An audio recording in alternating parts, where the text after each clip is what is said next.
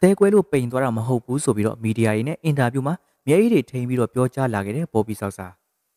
ချစ်ပရိသတ်ကြီးအောင်မြင်ကြော်ကြားတဲ့အဆိုတော်ဖြစ်နေအနုပညာလောကထဲမှာရက်တည်နေပြီးတော့အမိုက်စားတချင်းစာသားလေးနဲ့တူတူအထာကြကြ rap တွေဆိုတဲ့သူလေးကတော့အဆိုတော်မလေးဘော်ဘီဆောက်စာပဲဖြစ်ပါတယ်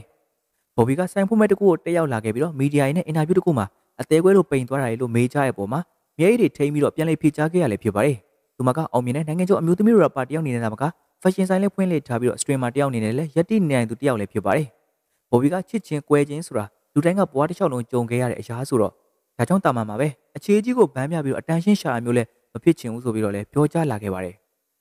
ဟုတ်ကဲ့ပါဆယ်လီပေါ့ပရိသတ်ကြီးတော့ပြန်လည်မျှဝေပေးလိုက်ရပါတယ်နုပညာသတင်းလေးတွေကိုပေါ့ပေါ့ပပလေးကြည့်ချင်တော့ဆယ်လီပေါ့ channel ကို subscribe လေးနေကြဖို့မမေ့နဲ့နော်